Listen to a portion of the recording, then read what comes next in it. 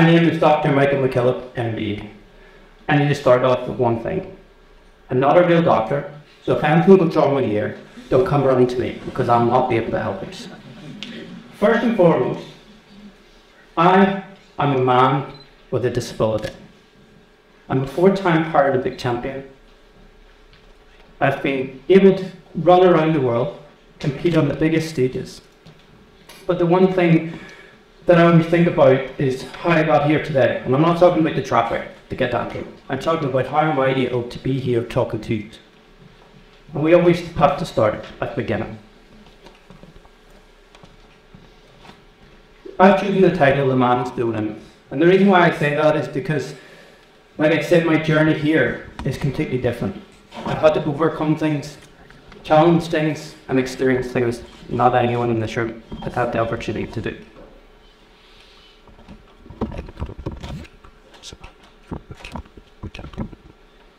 And I guess with any good story, there always has to be a beginning. I'm going to take you back to the beginning of my life. I was born in Cushendall in 1990. I was born into a normal family, and uh, I had two older sisters at the time, and I have got a couple of images of me growing up as a young boy.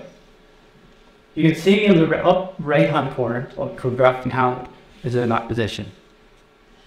My hand sat in that position until I was about seven or eight years of age. But I, before that, at a year and 10 months, I fell down the stairs. My parents kind of picked me up while I was okay, took me to the doctor to check me over. I was okay. And over the next couple of weeks or months, they really started to notice how I wasn't really using my right hand. My hand was going into that position. They noticed I was starting to walk with a limp. And they got a consultation with the, with a doctor in the Royal Victoria Hospital in Belfast. And they turned around to, to him and they said to, the consultant said to my parents, that's a habit. Yep, it's just normal, get over it. And for another year, my parents fought for another consultation because it was getting worse. They noticed that I really was walking with that limp.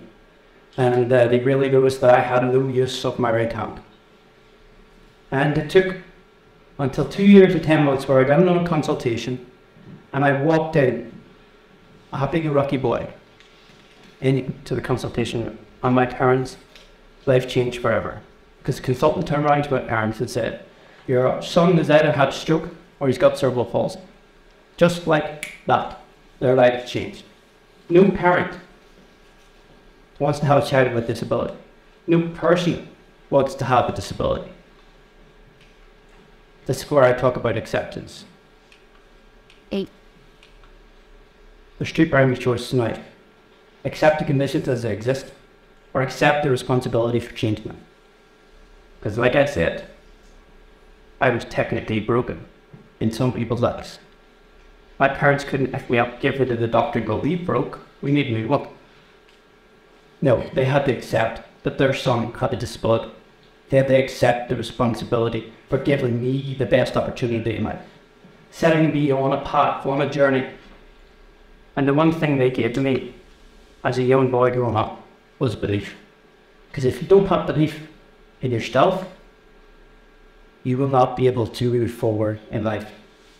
Obviously, growing up with a physical disability, I stood out.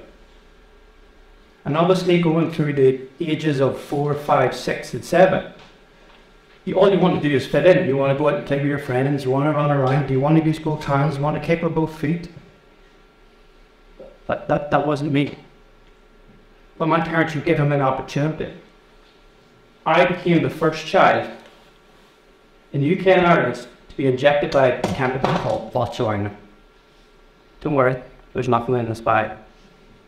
But I was the first child in the UK and Ireland to be injected by it. A teaspoonful of botulinum would kill 100,000 people in food. My parents were taking that risk for me, giving me the chance to better myself, to allow me to be able to walk without a limp, to give me use of my right hand. If it wasn't for my parents, I wouldn't be standing here today, and I know that is the case for everyone, because without parents, we wouldn't be alive. And for me, I'm very, very grateful of that.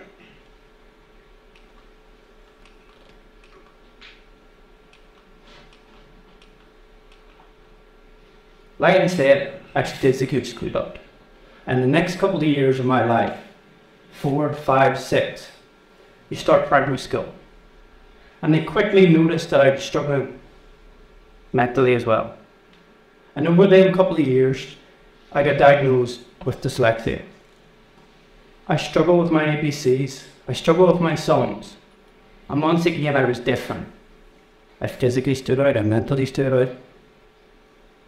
But at the age of 10 and 11, you really don't know. All you want to do, like I said, is be like everybody else. And it was whenever I wanted to go to big school, I got told I wasn't able to do the 11 plus. I wasn't smart enough. There's no real point even trying. But I always say in life, if you don't, if you try to let the road. And that is what my parents always taught me. Give something a chance. Try it. Because you just never know in. But that got taken away from me. That got taken away from my parenting. And for me, that didn't allow me to follow in the dream that I wanted. I wanted to go to school in Belfast and follow the footsteps of my father, but that wasn't possible. I went to school, like I stood, stood out, verbally, or uh, physically and mentally, and like a bully, like a picked on. I remember I got ver- verbally and physically abused. And I remember it got to the point where actually I had to tell my mum, do you know what? I'm not going back. I sat and a my uniform and I threw it in the bin. And they're like, go play, go play sports. That's fine. I was like, great, 11 years of age, don't need to go back to school. And on the Sunday night, my parents brought in a press uniform, hung it up, we sat outside. And they said to me, going to allow someone to stop you do something that you want to do, or that you need to do. Because you're 11 years of age, you maybe get an education. Are you going to stop someone from doing, allowing you to go and play sport, take part in sport? At that moment in time, at age of 11, I understood that it was okay to be downed. Because every single person in this crowd is different. Every single person in this crowd has positives and has negatives. It's about being able to use those positives and making your life and other people's lives better. So I always say to myself, do something today that your future self will thank you for. Because as soon as you walk out that door, you can make a change. You can listen to me, you can listen to all the other amazing speakers. You are in control. I got belief from my parents. I got the passion from my parents to overcome, to challenge, never say no, and always give. Great opportunity in life. And move on to the next thing. And the title is Resilience. Realistically, what is resilience? For some people, it's overcoming things. Some people, it's bouncing back from things. Some people, it's recovered. But before I give you my answer and my thoughts, if we're all watching TV, which most of us do, and you're sitting with your partner or your family member, and it's absolutely rubbish on the TV, what do you do? What do you do? Should be used to chat. You change the channel. That's all you gotta do. Just like a mindset. For me, it's the ability to change the channel. Once that channel is changed, and you have it in here, anything's possible. I go back and I think to myself, okay, I'm a disabled child. I've got learning difficulties, I have speech problems. I actually got diagnosed with epilepsy at 14. I'm on medication the rest of my life. But I actually what? What actually is a positive thing that I felt like I could do? I travel the world and compete for my country, live people to dreams. I'm the person that puts on that green jersey. I'm not person who runs in front of 90,000 people. But in actual fact, I've just turned what's so called negative of a disability into my positivity. Because it shows in life anything is possible. Don't put limitations on yourself. I always think to myself how I got through so many difficult situations in my life. And I think right back to the start. And that came from my parents. At that two years and ten months in that hospital room, And I really think to myself, actually, do you know what? Without them, I wouldn't be standing here today.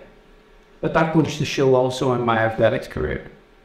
If it wasn't for my strength and conditioning coach, my nutritionist, not that I listed her very often, but she was there. My, my physiotherapist, my sponsors, my private sponsors, for who they live in a shop. but the one thing that I always realize is yes, I get the glory. Yes, I come across like first.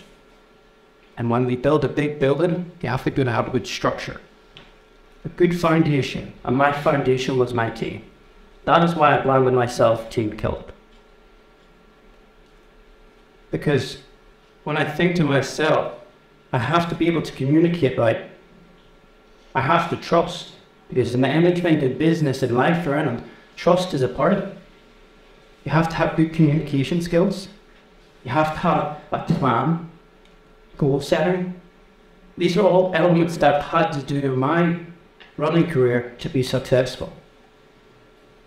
And I leave with one quote. Well, actually, before I do that, what if Michael Jordan would have quit? Okay, he did quit, he retired.